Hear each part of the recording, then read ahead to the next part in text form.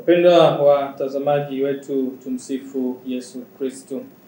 Karibuni katika tafakari ya neno la Mwenyezi Mungu leo Jumatatu ya tarehe kumi Oktoba elfu mbili na ishirini na mbili katika sala ya Rozari Takatifu. Leo ni siku ya kusali mafumbo ya furaha. Karibuni tusikilize Injili takatifu.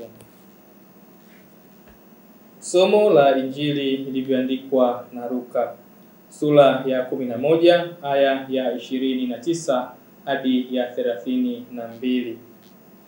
Makutano walipokuwa wakimkusanyikia Yesu alianza kusema, kizazi hiki kibaya kinatafuta ishara, wala hakitapewa ishara ila ishara ya Yona.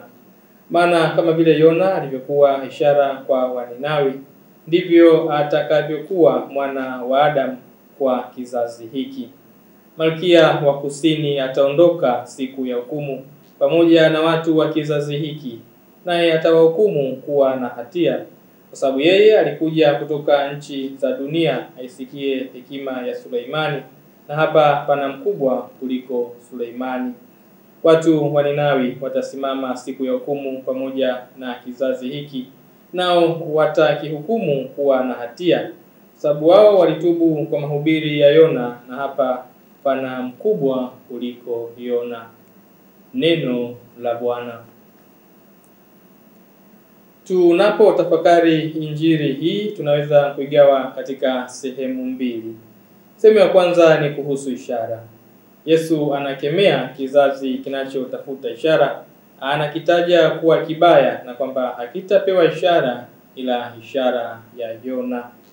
Katika sehemu ya pili Yesu anatoa mifano ya watu ambao walifanya juhudi kubwa kuwasikiliza manabii na kutekeleza maneno ya manabii hao ambao Yesu ana hadhi kubwa kuwazidi.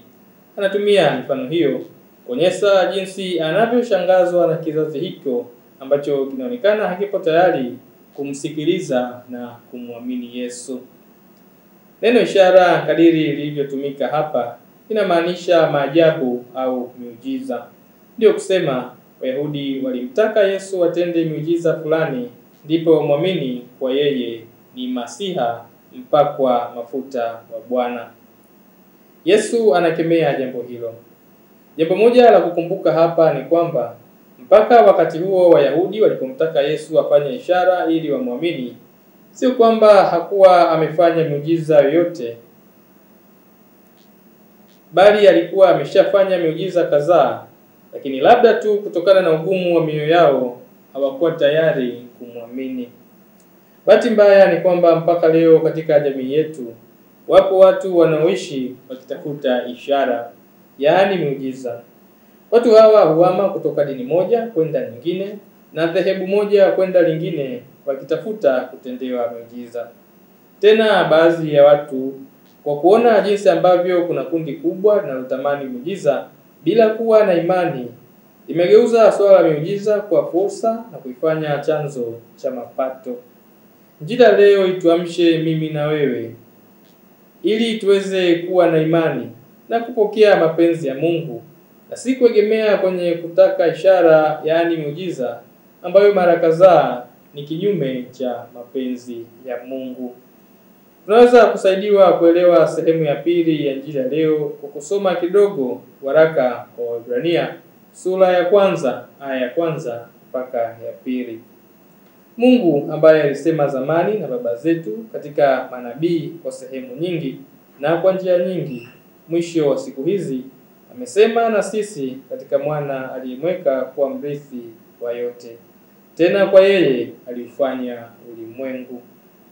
Yesu anaishangaa jamii ya Kiyahudi ambayo baadhi ya wazee wao waliwasikiliza manabii na kufuata maneno yao, lakini wengi wa waliokuwepo wakati wa Yesu walikataa kumsikiliza na kumwamini, ingawa Yesu alikuwa mkubwa kuliko manabii hao.